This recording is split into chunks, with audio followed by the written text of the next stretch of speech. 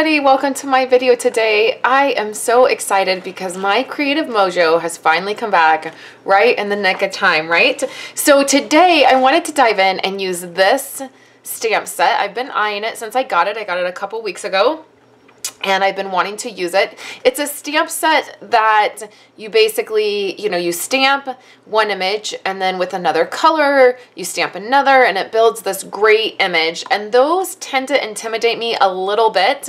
I tend to feel like it doesn't look right while I'm doing it, but I thought I would just dive in and do this one and see what I could do. And I'm glad I did because I have a fun card to share with you guys. So I'm going to be using this uh, stamp set right here. It's Painted Harvest. It's coming out in the brand new holiday catalog. So it's not available quite yet, but it will be very soon. And then I'm also using some designer paper from that catalog. And so let's dive in. I'm to need a little background piece. This is a piece of cardboard I just have sitting by my desk all the time and then I can use it when I need a little bit of protection for my mat. And then this stamp set is photopolymer, so layering it is gonna be super easy. So let's start. I am gonna use, this is a crushed curry, and this is just a card base. What I'm gonna do is attach it to a Whisper White piece of cardstock when I'm all done. So this is four and a half this way by five and a quarter. So it's gonna do the whole card front. The next piece I have Okay, so let me show you how I did this. So the first, so the next layer I did, I took a, a, a quarter inch, sorry about that, a quarter inch off my white cardstock. So what I did is I went down to five and then four and three quarters. And that way I had a nice border around here. The idea for this card came from a card sketch I shared with my team. So on Mondays, I've started a new thing with my team where I share a card sketch and then we can dive in and we can use that card sketch to create and this was where I got the idea originally. So then I wanted to do a little pop of color right behind this Whisper White piece. So I just added like an eighth of an inch for that color. So there's hardly any uh, there's just a sliver of a border around that Whisper White. So we're going to do our stamping first. We're not going to attach anything uh, just in case I mess up my stamping. So what I'm starting with is crushed curry. That's what's here. This is going to be my first large stamp. It's right up here. And then the second one, the layering, I am actually using uh, Peekaboo Peach, which I was not sure about the color combo, but it ended up working out. And then I'm using Early Espresso. So I wanted to use Cajun Craze, but my stamps uh, pad needs to be re-inked and uh, my re-inker is on, on its way. So what I'm going to do is I'm going to start out by just lay, layering three of these down. And it looks a little strange. It looks like maybe it didn't stamp all the way but that's not the case. And I'm hanging off the edge of my paper a little bit. And then over here, I'm to hang off quite a bit. Just like that. And then I'm to take the Peekaboo Peach. And this is where you just have to kind of go with it. I sort of try to line that circle up in the middle somewhat to where it looks like it fits. But then I'm just to go in and I'm just to stamp. And I always feel like at this point, it doesn't look right and I'm doing something wrong.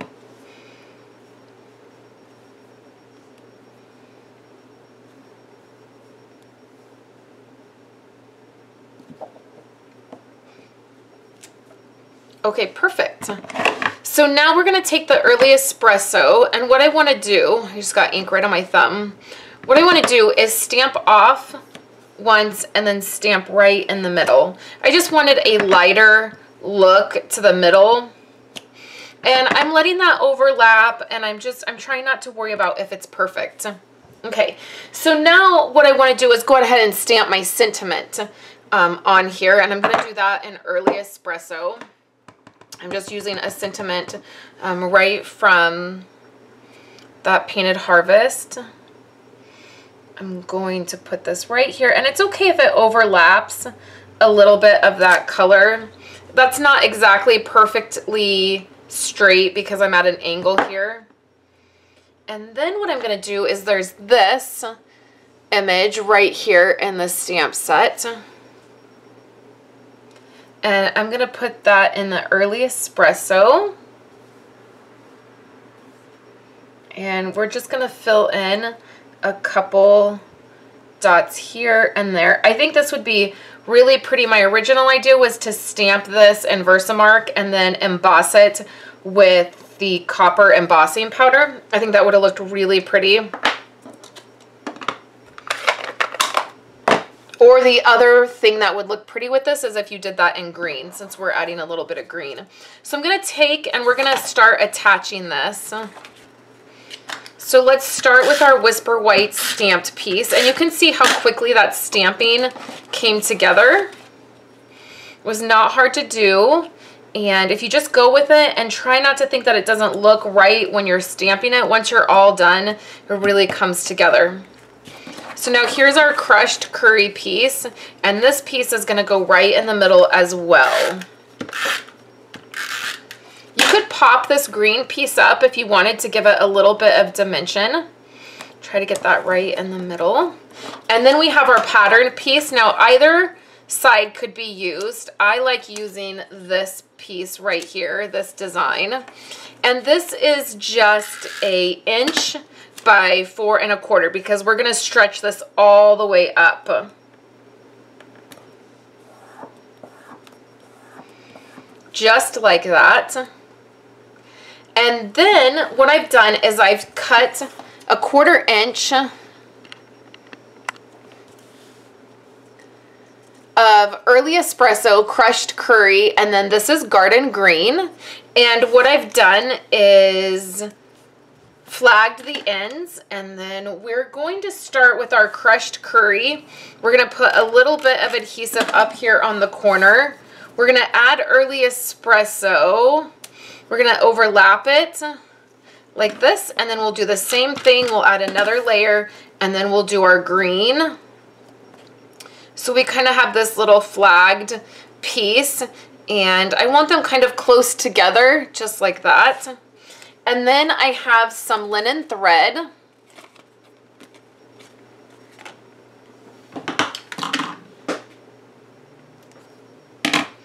And what I'm going to do is tie this around the end here. So I'm going to wrap this around two or three times and then tie a bow.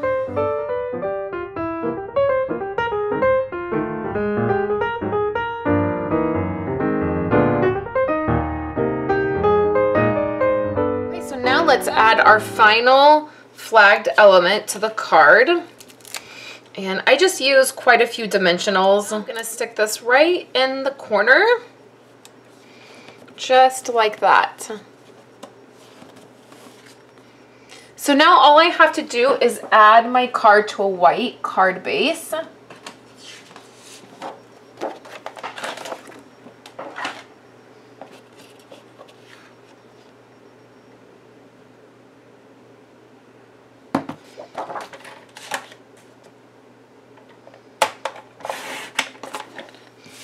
So I'll take my white card base.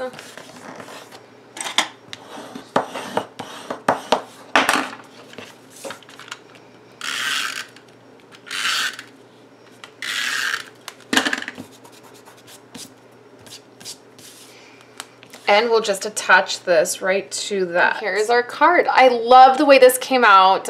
I'm for sure excited that I feel like my mojo has come back. So you guys don't forget that I have a free stamp set that I'm giving away for orders placed with me using the host code this month.